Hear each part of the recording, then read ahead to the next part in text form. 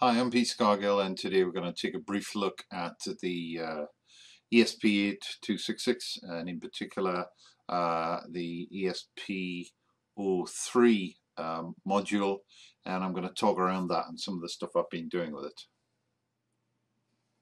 So welcome to the uh, workshop. Uh, as you can see I have a, a number of the little uh, ESP uh, ones here. I've just uh, had some of those delivered and I have had a certain measure of success with them. If you've been reading my blog, um, and that's detailed on the link, you'll know that I've um, I've been checking out all the various firmware alternatives. Uh, I even have here a prototype from um, a company of a little prototyping board for the ESP 01s, uh, and in fact, just today I've sent off to China for um, a little um, board to make it easier to work with these with a decent 3 volt regulator and level shifter. And again that that'll pop up. Uh, that's not commercial right now. Um, but what I'd like to show you today is the ESP03 okay? Is this little module uh, here. You can see the standard two chips on these boards and it's got uh, edge counter and I've put on a piece of prototyping board with some uh, lights and um, a 3 volt, again a 3 volt regulator. Okay, so what's wrong with the little 01 boards? Well, for reasons beyond most of us, they chose just to bring out a few of the connections. Um, I'm sure they thought that everybody was just going to stick this onto a microprocessor and that was going to be the end of it. But of course, a lot of people have been getting inventive, and we have uh, at least one implementation of a language called Lua, which um, promises to, to let us do some simple applications within this board. Now, you're looking at a board here that costs you know a couple of pounds or so.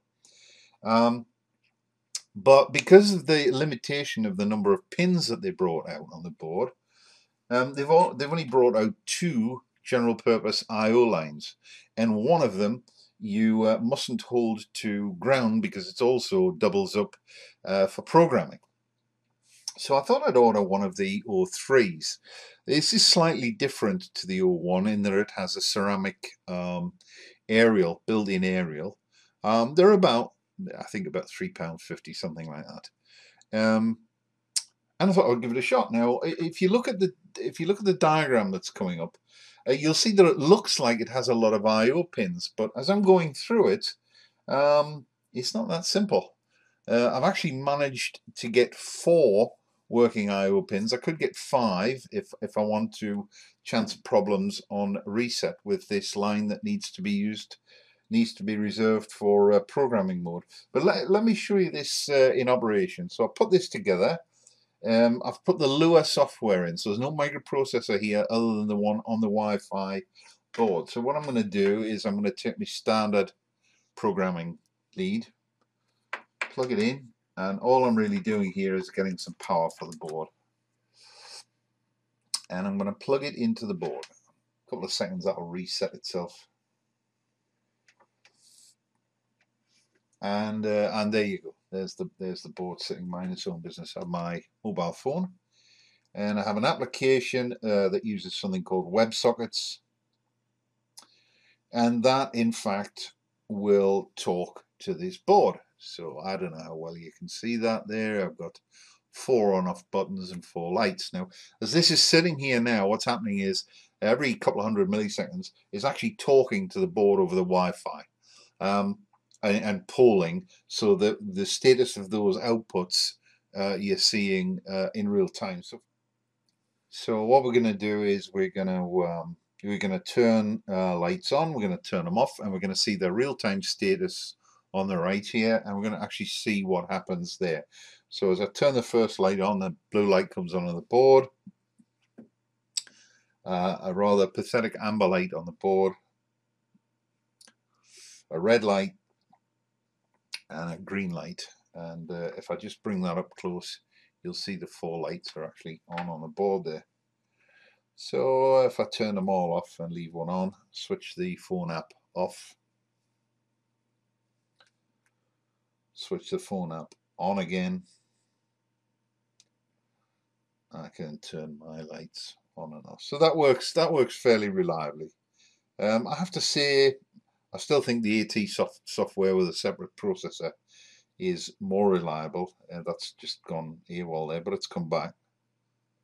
So I'd be quite happy to leave this running, controlling a relay or something and controlling the lighting in my house and uh, be able to turn it on and off. So that, that, that that's great. So so how did I, I get to here? Well, in the board itself, there is what they call the Lua in, interpreter. You can get the binary file for that and just download it to uh, the board. Um, put a little bit of code in there. Um, you do that with a serial terminal, and I've written a serial terminal for Windows users uh, because I got sick of what was out there.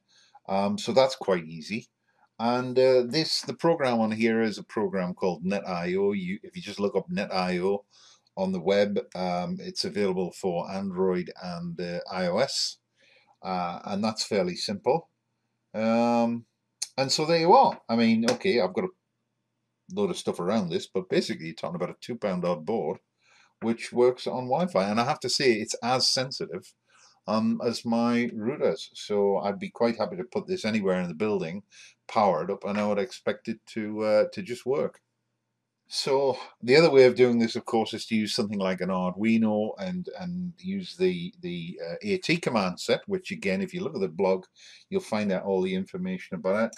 This is a little board that we developed ourselves. Um, it's a partly built one, but it'll it'll show the general idea. So we've got a an AT Mega 1284 which is just like um, the, the normal um, chip used in Arduinos, but with four times as much flash, four times as much memory, etc. Crystal connectors, two regulators. Now you'll notice on here that we've got a decent size little uh, regulators. There's a 5 volt and a 3 volt 3. You'll find some of the boards have regulators on them. Uh, can't find one here, but if you look at your um, if you look at uh, some of the Arduinos that do have three uh, volts, they have tiny, tiny little regulator. They're not enough. These things can take up to a quarter of an amp. So that's 250 milliamps. So you really want um, a regulator that will deliver at least maybe say half an amp at 3.3 volts. Uh, so uh, all the designs that we do, we put a we put a decent size um, regulator on there. So, so there it is. Um, that's my prototype. Um, I would say in the last week there are two promising lines of software development. One would be the um, original Espressif EAT software and the other one would be the Lua interpreter and they're all detailed um, in the blog. Right, well thanks for watching.